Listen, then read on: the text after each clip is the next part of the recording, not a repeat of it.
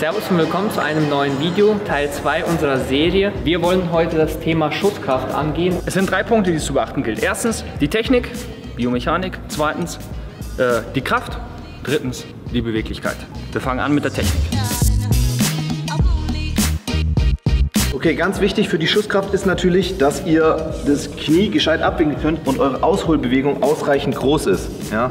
Wenn natürlich hier unten ausholt, hat nicht viel Beschleunigungsweg und kann auch nicht viel Kraft auf den Ball übertragen. Deswegen einmal Beweglichkeit im Oberschenkel, Kniewinkel beugen und auch die Beweglichkeit in der Hüfte wichtig, um ausholen zu können. Für eine optimale Beschleunigung brauchst du den maximalen Beschleunigungsweg und dafür ist entscheidend, dass du beim Ausholen das Knie komplett anwinkelst, dass dieser Winkel komplett klein wird. Sonst verschenkst du Beschleunigungsweg. Klein machen und dann die Hüfte aufrotieren und von dort dann abfeuern.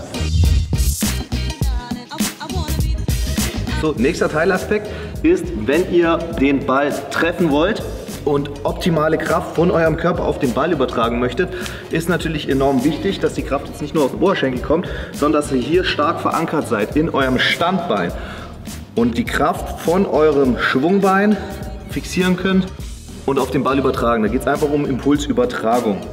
Deswegen, Standbein muss stabil sein und noch viel wichtiger, dass das alles stabil ist, muss der Bauch fest sein. Ja, und dann kommt es letzten Endes wie, zu einem Art Peitschenschlag. Um jetzt diesen Peitschenschlag zu erzeugen, bauen wir in unserem kompletten Körper Bogenspannung auf. Das heißt, es arbeitet nie nur euer Bein, sondern es arbeitet euer kompletter Körper zusammen und zwar über die Diagonale.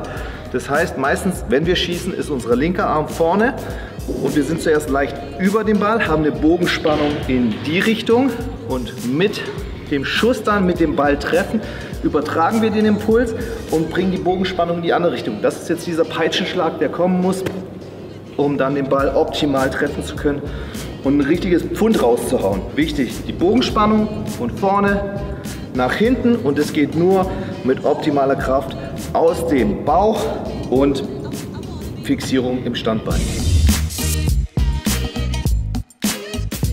Um jetzt tatsächlich eure Kraft noch zu trainieren, ist es natürlich enorm wichtig, den Bauch zu trainieren, also Rumpf stabil zu halten, wie wir vorhin schon in Technik erklärt haben und das Ganze am besten funktionell lassen. Das heißt, wir arbeiten über die Diagonale und wir starten dazu mit Übung Nummer 1, machen den Bauch fest, ziehen das linke Bein ran und der rechte Arm geht außen an den linken Knöchel.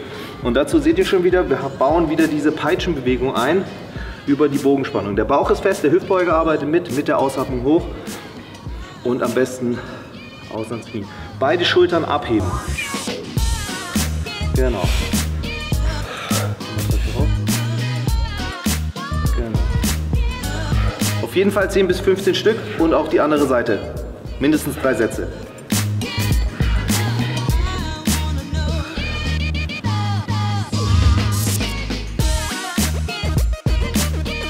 Okay, Übung 2, wir halten es wieder funktionell. Wir gehen in den Unterarmstütz, dazu langer Hebel, Knie gestreckt, Becken nach vorne aufgerichtet. So, und dann mit der Ausatmung führen wir diagonales Knie, also wir fangen lang linkes ja, oder andersrum rechtes Knie zum linken Ellbogen. Und dann einatmend, ganz lang machen, Stabilität halten. Der Bauch muss dazu immer fest sein. Ausatmend, diagonal ranführen, einatmend, öffnen. Versucht das Becken immer aufgerichtet zu lassen. In der oberen Position geht es natürlich nicht. Trainiert auch wieder enorm den Rumpf und auch müssen wir wieder über die Diagonale unsere Bogenspannung aufbauen können. Am besten wieder 10 bis 15 Wiederholungen oder so viel wie geht. Drei Sätze. Okay, letzte Übung. Nochmal Kräftigung für den Oberschenkel in dem Fall und auch den Hüftbeuger, um die Kraft dann übertragen zu können. Wir starten in einem Ausfallschritt und auch gleichzeitig schon die Arme mitbewegen, um wieder über die Diagonale arbeiten zu können. Das heißt, wenn der linke Fuß vorne ist, ist der rechte Arm mit vorne. Ja, und dann mit der Ausatmung geht es Step vor, Knie mit hochziehen. Genau, einatmen zurück, ausatmen, dynamisch hochsteppen, das Knie mitziehen. Ganz, ganz wichtig, lasst das Knie mitlaufen. Stabil stehen und immer den Arm mitnehmen. Auch hier wieder 15 Wiederholungen, drei Sätze oder gerne auch mehr, bis es brennt. Wer es schwerer braucht, macht es mit einem kleinen Sprung zum Schluss. Mit der Ausatmung, Knie hochziehen, abheben. Genau. Und dann wirklich mit maximaler Kraft springen. Und ihr arbeitet wieder über die Diagonale Bauch muss fest sein.